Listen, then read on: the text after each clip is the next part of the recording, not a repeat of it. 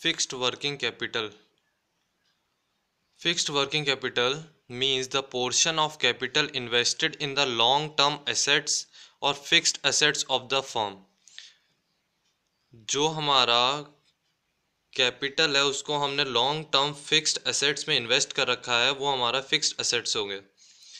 Fixed capital कभी भी finance करना हो तो हम लॉन्ग टर्म सोर्सेज से उसे फाइनेंस करेंगे। कभी भी उसको शॉर्ट टर्म फाइनेंस से, किसी, कभी भी शॉर्ट टर्म सोर्सेज से हम उसे फाइनेंस नहीं करेंगे। Factor affecting fixed capital requirement nature of business आप किस तरह का बिज़नेस कर रहे हैं? अगर आपका बिज़नेस बड़ा है तो आपको ज़्यादा वर्किंग कैपिटल रिक्वायरमेंट चाहिए और अगर छोटा है तो छोटे, कम वर्किंग कैपिटल चाहिए। जैसे ट्रेडिंग फर्म को कम फिक्स्ड कैपिटल चाहिए और मैन्युफैक्चरिंग को ज़्यादा चाहिए।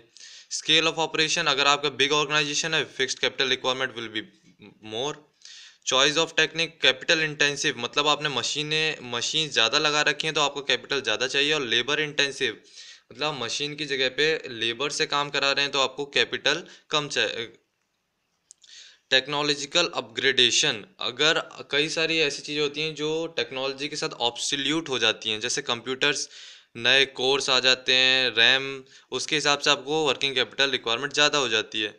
फाइनेंसिंग अल्टरनेटिव्स अगर आप बिज़नेस एक्टिविटी रन कर रहे हैं स्मॉल या बिग ऑपरेशन लेवल पे, और आप अपने जो प्रॉपर्टी उसे रेंट पे रख के काम कर रहे हैं तो आपको वर्किंग कैपिटल की रिक्वायरमेंट कम है।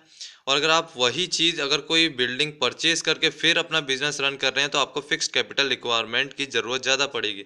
डाइवर्सिफिकेशन अगर आप अपना बिज़नेस को ज़्यादा एक्सपेंड करना चाहते हैं तो आपको फिक्स कैपिटल रिक्वायरमेंट की ज़रूरत ज़्यादा पड़ेगी। क्रॉस प्रॉस्पेक्टस अगर आपको लगता है कि आने वाले टाइम पे आपका बिज़नेस ग्रोथ प्रोस्पेक्टस की तरफ़ जाएगा तो आपको वर्किंग कैपिटल रिक्वायरमेंट की ज़रूरत ज़्यादा पड़ेगी।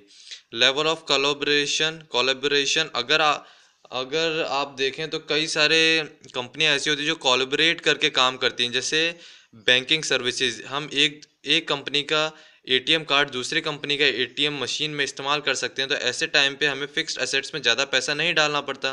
तो जिसके वजह से लेवल ऑफ़ कॉलबरेशन है, उसमें अमाउंट हम कम इन्वेस्ट करें तो भी चल जाता है।